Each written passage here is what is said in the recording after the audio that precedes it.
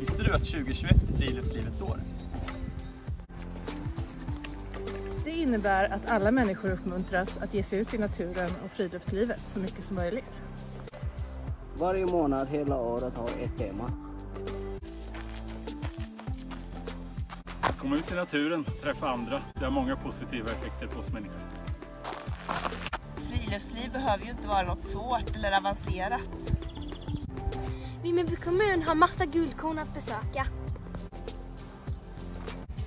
Ge dig själv tiden och möjligheten att uppleva naturen närmare. Och glöm inte att luften är fri.